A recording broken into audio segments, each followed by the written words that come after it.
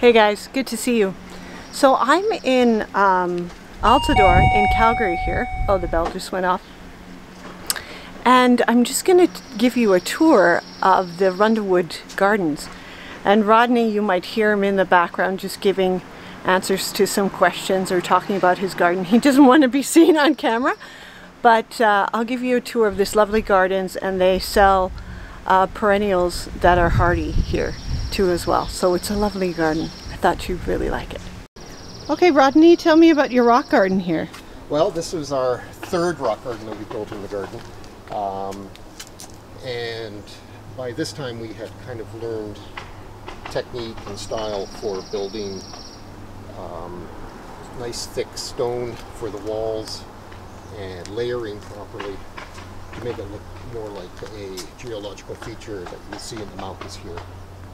It's also the sunniest spot in the garden, so we have lots of succulents, um, anything from hen and chicks to cacti, uh, Opuntias types, which are the uh, prickly pear, and they come in colors that are yellow, pink, red, and kind of an apricot color. And what is this? Um, okay, I'll see if I can get my. little alpine valerian. Okay. So like uh, the regular garden valerian, which gets about three feet tall, it has nice fragrant flowers, but it uh, is more of a rock garden type plant. Okay. And rock gardens kind of, they're a little bit uh, like an uh, early blooming. So we're missing Um, some of the blooming. Some of the stuff is. And behind it, unfortunately, just finishing is the little cactus called claret cup, um, which is blooming. But there's many things like the valerian. This is now early summer. We're into early summer now. So Right. The valerian is early summer. This is Monardella odoratissima, which is a native to the hot uh, areas of uh, the Dakotas, and it has a flower that looks like a monarda. And behind it is a allium with a swirling foliage, and that'll bloom in this so guy this, here this one here. And it'll bloom in uh, July with pink flowers on it. Lovely. And what have we? What have we got? This purple one right here. This little guy, Yeah. it's a little annual that kind of seeds itself around in the garden, Oh, lovely. or just in the rock garden, I should say. Right. And what stone are you using? This is all Rundle stone. Rundle stone. And how do you get it so it's like, um, so it's kind of angled, and you you just stack it and. Well, we had a mound of poor subsoil behind okay. that we built onto, Okay. and then the um, the then there's a layer of really gravelly poor subsoil. Okay. which provides a good drainage near the top of the uh, of, of the bed. Okay. Um, and the stones we've placed in put soil in between where we can, so we can grow things in amongst the stones. Right. That's a little Veronica, Veronica oltensis. And all these um, considered Alberta native or? No, no, most of them what we grow are not. Okay. natives. Um, there's from all over the world, but they're often climates similar to ours. Okay. And and how do you get your seeds for things like? oh, there's uh, well, you can um, order seed from anywhere in the world. Uh, there's no regulations in Canada for seed. Um, so yeah, there's all sorts of specialty places. And also, you know, one time, and you can sort of import stuff to plants from Europe, but it costs a lot of money for shipping as well Right. as the phytosanitary certificates. right. So you have to be certified. Uh, the plants have to be certified. Okay. Not you. And you have a type of weeping larch here, hey? Yep. Yeah. It's Larix lovely. Decidua pendula. Um, fairly, quite commonly available now. Uh, so, because we have big elms above us, um, the larch is reaching out towards the sun. So it's all very one-sided now, but that's kind of the quirky charm of it. Lovely. Okay, so we're just going to move forward, and you have some. Wow, I love this pathway. Is there a story behind this um, fountain? no. no, we just uh, You just like them. just liked it. It was in the house for quite a while, and then we realized that it fit on top of the uh, bird bath perfectly, so we thought we'd put it out here. Perfect. You have a lot of peonies just coming. Well, most of our peonies are finished actually. Yeah, just- of they're just kind of- after three days of uh, 30 degree weather. Yeah. So we're seeing the tail end of the peonies. Most of the flowers on these peonies, each flower would only last about three days. And Right. with the heat, boom, it just quickly went. Yes. So this one is called, this one is one of the later ones for us, and it's called Athena. It's lovely. So kind of an apricot color with a dark base.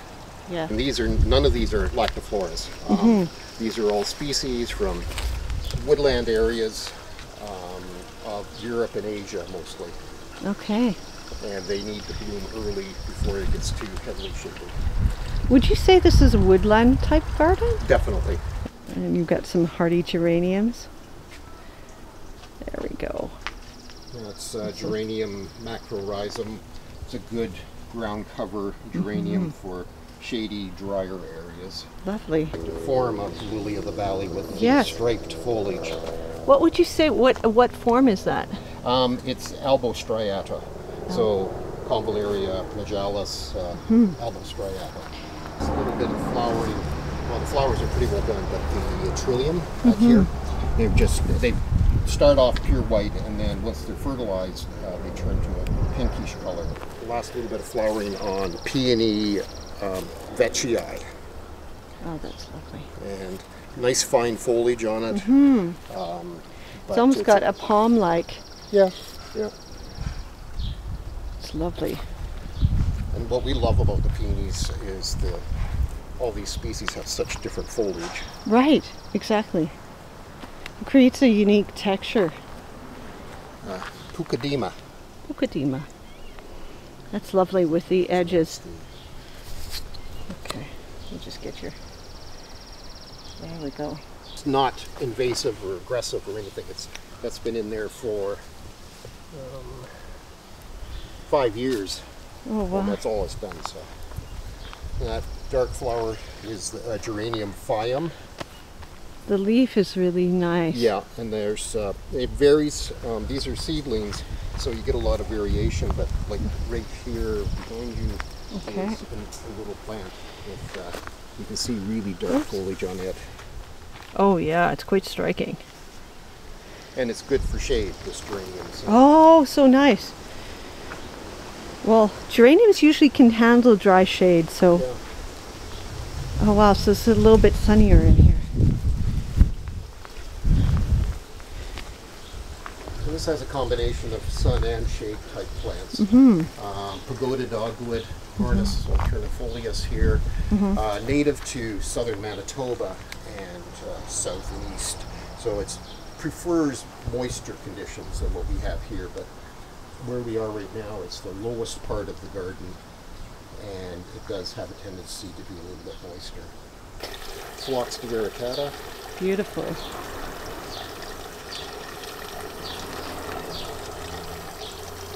Epimedium. That one's a selection from Lunaria rediviva, or perennial form of honesty, or perennial form of life. So, um, when can people come and visit your garden and shop at the at the Um, store? Basically, Thursdays through Saturdays, 10 to 4, but they need to book an appointment. Right. And they can do that through our website. Walk through a little bit.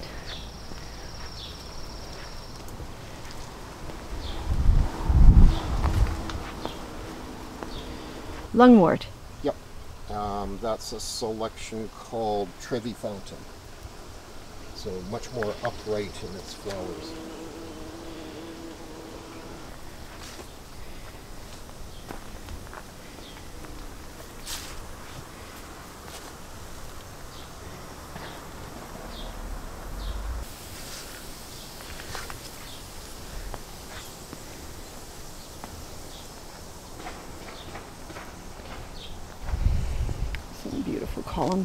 Some beautiful columbine down here.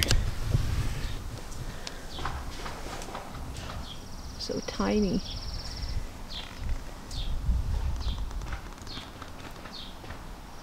That's a species of uh, columbine, um, Aquilegia shockley, which is native to, I believe, the mountains of Colorado. It's a western North American species. Wow, how old is the garden, Rodney? Uh, the garden we started about 20 years ago. So it was all lawn except we had two big elm trees, um, a higher 12 apple, and that was it. Gardens take time to develop. Oh, definitely. Yeah, you've got to get the plants in and let them mature, which takes quite a long time in our climate. And patience.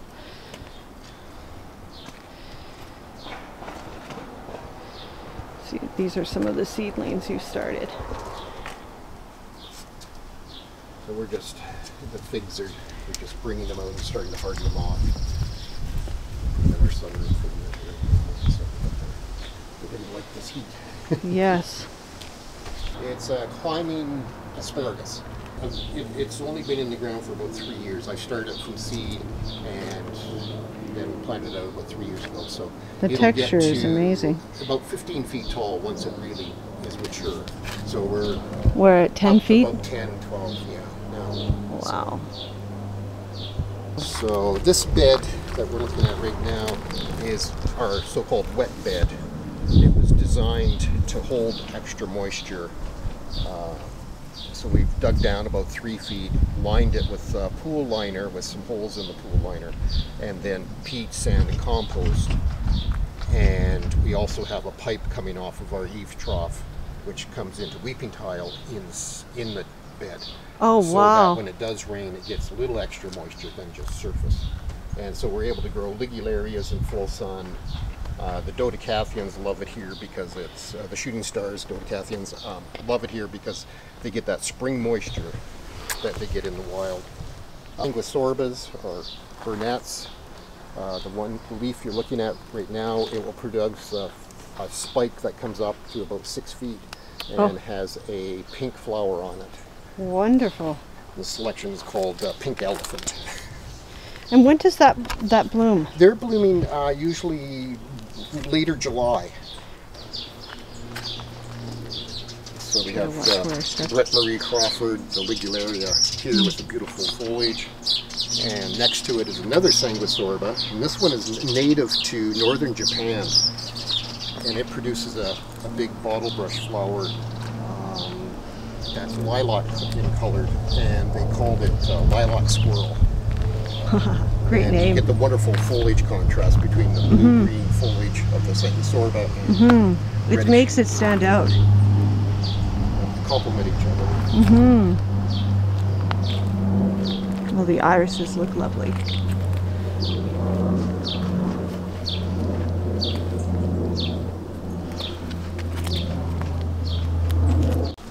Oh yeah, let's get this peony here. Couple of deadheadings. That's okay. This can't be everywhere. We've got the goatsbeard, Aruncus here, which is mm-hmm. in spike now, so by mid-June or late June, it's usually in full flower. Mm-hmm. And then we have Veronicastrums or Culver's root, mm-hmm. uh, which doesn't bloom until July and lasts for quite a while. And it's a wonderful, wonderful plant for bees and butterflies. Haha. and look at what you got here. The uh, Rodgersia is here, and then a another Ligularia right next to it. And again, you get that wonderful contrast of textures. Yes, it's lovely. And they both flower. They both have flowers. What is this fern here? That's Osmunda, uh, no, Onoclea sensibilis. Um, it's native to almost all around the world, but it loves sun and moisture. So in uh, southern Ontario, you'd see it growing in the ditches in full sun, but there's lots of moisture in the ditches. But then coming up through of it is this is a variety called Vetberg, which in the spring the foliage is a chocolate color, and it uh, when it comes into flower, it uh, turns green, but there's still little hints of chocolate in the foliage even right now. Yeah, you can see it on top. And that comes uh. And then we've got the variegated. variegated one, that's Grace Barker, which really clumps up nicely. There's a nice clump over on this side. Let's take a- Wow, it's lovely. And then behind it is another variety called Dragon Scale, and it has a ridge down the center of each leaf. Thanks. And just a little bit different, a little bit different texture. Wow, I walked right by this. So this is our first rock garden that we built. and it was thanks to a dear friend of ours who was moving to the Victoria to retire and she knew that some of the her plants from her rock garden would not survive out in the rainy uh, Mediterranean climate Right. there and she encouraged us to build this rock garden and uh, Do you think rock gardens have gotten more popular or? Oh, I think so, definitely. Uh, one nice thing about rock gardens is that um, they require far less water. Uh, that is a primula, primula marginata. Oh, it's of the same family. Um, wow. So it's it'll have little mauve flowers in the spring, and but it's got the wonderful toothed foliage, and the underside has what they call farina. So it's kind of a powder, and you can see that just showing through. Yeah. This is, it's now going to seed, but this is a clematis called hirsutissima, native to the high mountains of Colorado. Um, and you can see the seed heads are the last little bit of color in the flowers, petals, but the seed heads are forming now. So it comes up and flowers early because it's native to very high elevations, and very cool elevations, so it needs to get everything done quickly. We have some anemones, which a lot of people are terrified of, but this is anemone trifoliata, and this patch has been here for about 10 years now, and this is as big as it's gotten. So it's a very slow growing, um, spreading, it spreads by rhizome. Um, it doesn't seed itself, and it's also what they call a spring ephemeral, which means that it flowers in the spring and then it'll die down and disappear for the summer, like the whole plant disappears. Okay. And on this side, there's the last little bit of a soft yellow one, uh, Anemone lipsiensis, which is a hybrid. Uh, so again, it doesn't produce seed. Anthriscus. And Anthriscus. Thriscus sylvestris ravenswing. It's some seedlings. There's the plants are over here, Oh wow. and that's what they do. Okay. So they have the purple foliage and white flowers on them. They're a member of the carrot family. okay. I love their And seed they- head. Yeah, yeah, they're just nice and airy. What have we got here? Uh, that's an allium I started from seed uh, from the Devon Botanical Gardens up near Edmonton. Um, they collect seed off their plants. Um, they are all open pollinated, so it could, you know, it could be crossed with anything. So it's an allium, it's an onion um, that uh, is doing. It's much bigger than it should be, and it'll have a um, soft yellow flower on it. The the heads will straighten right up, Okay. and um, so it'll be you know this tall once it comes into bloom and just a fun beautiful foliage uh, mainly i grow it for the foliage it looks you know, like corn stalks or bamboo just Yes. that wonderful twisted Exactly. Well, and the droopy heads are like yeah they're lovely. quite neat right now yeah um, it's called Molopospermum is the uh, genus um, and this is Peloponnesus or something um, for the species. It is native to Europe in the mountains. Uh, it goes all the way from Greece over to France. It's very much like our uh, cow parsnip. It's in the same family. It's an umbellifera or Apiaceae, and um, so the flowers are just getting ready to open. Once it, it it'll continue extending in height, and it'll get about uh, six feet, seven feet tall. The foliage is very soft and feathery. It's just gorgeous. There's no problems with contact dermatitis or any of that thing that you can get with some of that, this family. Um, but just spectacular foliage plant. Let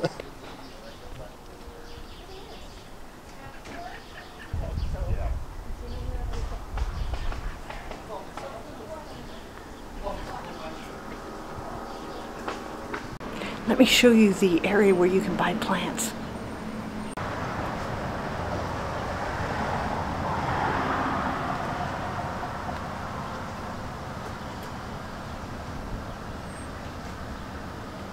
Then if you go across here.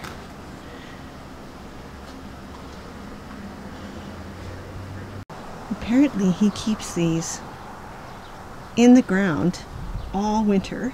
Like doesn't take them inside and he plants them in sand so you can see the the little holes where the pots were the pots where he sold plants. Yeah lovely. Just saying a little goodbye from the gardens and a goodbye from Rodney on the side. Okay, thank you for uh, visiting the garden and uh, hopefully you uh, got a few interesting tidbits out of it of information. Absolutely thanks Rodney You're welcome. Thank you. till the next time bye